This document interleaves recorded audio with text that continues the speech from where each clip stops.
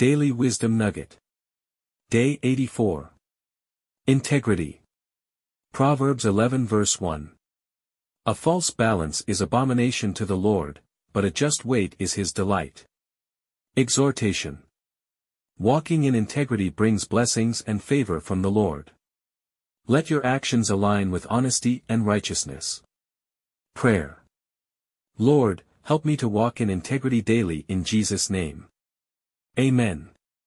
Please like, comment, subscribe and share.